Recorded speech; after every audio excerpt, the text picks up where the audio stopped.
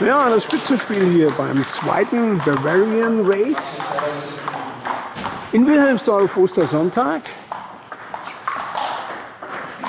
15. April 2017. Runde 2, glaube ich. Christopher Bedenk schlägt auf gegen Matthias Ulrich. Den kennt wohl jeder, der mal Cobra Cup gespielt hat. Der Champion der letzten Jahre, als es noch Cobra Cup hieß. Gleiche Turnierserie ja jetzt in der Bavarian Race 0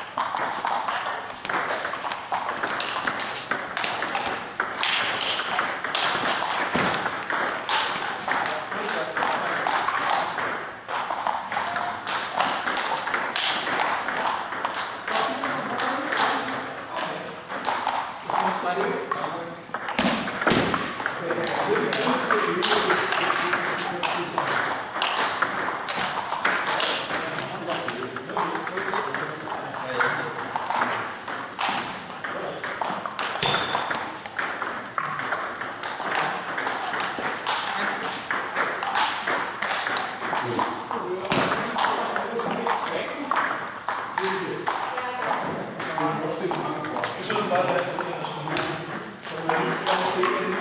Schon